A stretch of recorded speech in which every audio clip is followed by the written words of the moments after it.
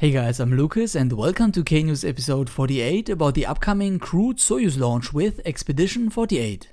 It took quite some time, but here it is, my all-new Soyuz spacecraft. It is no coincidence because the real Soyuz got an upgrade as well and now carries the appendix MS-01.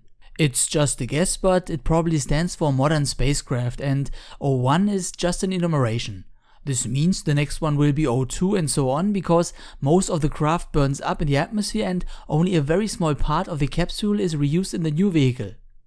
Compared to its predecessor Soyuz TMA, it has a better protection against micrometeorites, better solar panels and new electronics. My Soyuz in KSP finally fits 3 cosmonauts and also has a small spheric compartment in the front like the real one. In the back is the propulsion module which sits on the upper stage and the spacecraft is covered with a fairing. Since it is a crewed launch there is also an escape tower on top, but more on that later on. What I'm most excited for is my also new first stage. Mounted on the sides of the relatively thin core stage are the tapered strap-on boosters. These make the Soyuz launcher in my opinion one of the best looking rockets to date and I'm happy to finally have a worthy representation, although I still have to work on the booster separation. The launch will occur at the Baikonur Cosmodrome just when the launch site sitting on the Earth's surface rotates into the ISS orbital plane.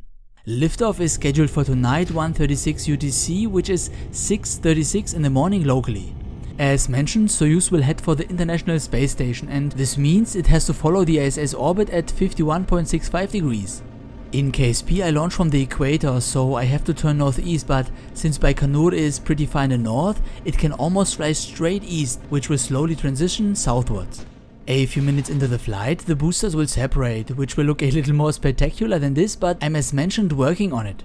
On board the capsule are two astronauts, one from America, the other from Japan and one cosmonaut from Russia. Anatoli Ivanishin is the commander, 47 years old and has spent 165 days on the ISS already. Before his career as a cosmonaut, he used to fly his MiG-29 and Su-27 fighter jets in the Russian Air Force. He also jumped off a plane 180 times as part of a paratrooper training. Launching for Japan is Takuya Onishi. He is 40 years old and this is his first spaceflight. He is also a former pilot but a civilian, flying a Boeing 767 for the Japanese airline All Nippon Airways. Last but not least there is Kathleen Rubins for the USA. She is with 37 years the youngest of the three and a microbiologist. Studying the human immunodeficiency virus, she obtained a PhD in cancer biology from Stanford University.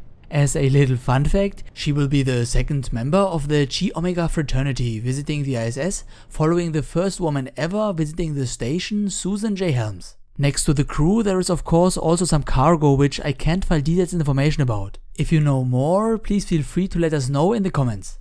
Now before I go on, a little shout out to my patrons. These people participate in my little crowdfunding campaign and while it's completely optional, it definitely helps the guy behind these videos. Thanks. Once Soyuz separates from its upper stage, it will begin its maneuvers to catch up with the station. A slightly lower orbit makes the spacecraft revolve fast around the Earth and it will take 2 days to catch up this time. NASA's docking coverage is at least scheduled for July 9th. Anyways, just before Soyuz overtakes its destination, a last burn will push its orbit on an intersect with the ISS. Shortly after arrival, the spacecraft will orient itself in front of the docking port and give itself a last nudge to ram the ISS in a controlled fashion, hopefully locking the docking mechanism. That was K-News episode 48 about Soyuz and I hope to see you next one if you like. Auf Wiedersehen and thank you for watching.